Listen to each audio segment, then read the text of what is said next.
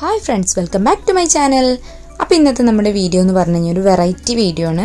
ഒരു variety craft ആയിട്ടാണ് ഇന്ന് ഞാൻ വന്നിട്ടുള്ളത്. അപ്പോൾ നമുക്കിതിന് ആവശ്യമായിട്ടുള്ള സാധനം എന്ന് പറഞ്ഞു കഴിഞ്ഞാൽ നമ്മുടെ ഡിഷ് വാഷിന്റെ കാലിയായിട്ടുള്ള പാത്രമാണ് ഇപ്പോൾ ഞാൻ എടുത്തിട്ടുള്ളത്.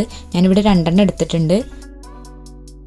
ഇനി നമുക്കിതിന് ആവശ്യമായിട്ടുള്ളത് ഒരു പൗഡറിന്റെ ബോട്ടിലാണ് ഞാനിവിടെ ഒരു കാലിയായിട്ടുള്ള പോൺസിന്റെ ബോട്ടിലാണ് എടുത്തിട്ടുള്ളത്. പിന്നെ അതുപോലെ തന്നെ വേണ്ടതാണ് നമുക്ക് നന്നായിട്ട് ഒട്ടുന്ന ഒരു ഗ്ലൂ ഞാനിവിടെ ഫ്ലെക്സ് കുക്കാണ് എടുത്തിട്ടുള്ളത്. അപ്പോൾ ഇത്രയും സാധനം വെച്ചിട്ടാണ് നമ്മളുടെ ഇന്നത്തെ അടിപൊളിയായിട്ടുള്ള ആ ഒരു ഐറ്റം ഉണ്ടാക്കിയെടുക്കാൻ പോണത്. ആദ്യം തന്നെ നമ്മൾ ചെയ്യാൻ പോണത് നമ്മളുടെ ഈ ഒരു പോൺസിന്റെ ഈ ഒരു ബോട്ടിലും അതുപോലെ തന്നെ നമ്മളുടെ ഈ രണ്ട് പാത്രങ്ങളും നമ്മളൊന്ന് പെയിന്റ് ചെയ്തെടുക്കണം. ഞാനിതെല്ലാം ഇവിടെ പെയിന്റ് ചെയ്തെടുത്തിട്ടുണ്ട്.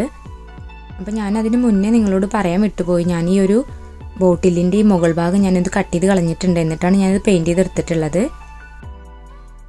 അതുപോലെ ഞാൻ ഈ എക്സോന്റെ ഈ ഒരു പാത്രവും പെയിന്റ് ചെയ്തെടുത്തിട്ടുണ്ട്. ഞാനിപ്പോൾ ഇതിന്റെ പുറം ഭാഗം മാത്രം ഒരു ബ്ലാക്ക് കളർ കൊടുത്തിട്ടുള്ളൂ. ഉൾഭാഗം ഞാനൊരു റെഡ് തന്നെ ആയിട്ട് വെക്കാമെന്ന് വിചാരിച്ചു. ഇനി നമുക്കിത് മൂന്നും കൂടെ അറേഞ്ച് ചെയ്ത് ഒട്ടിക്കുക എന്നുള്ള കാര്യം മാത്രമേ ഉള്ളൂ.